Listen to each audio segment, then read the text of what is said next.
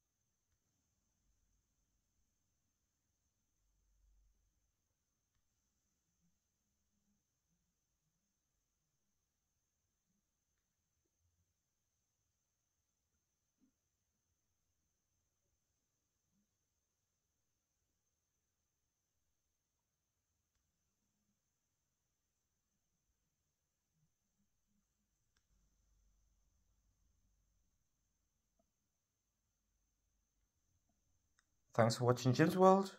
See you next time.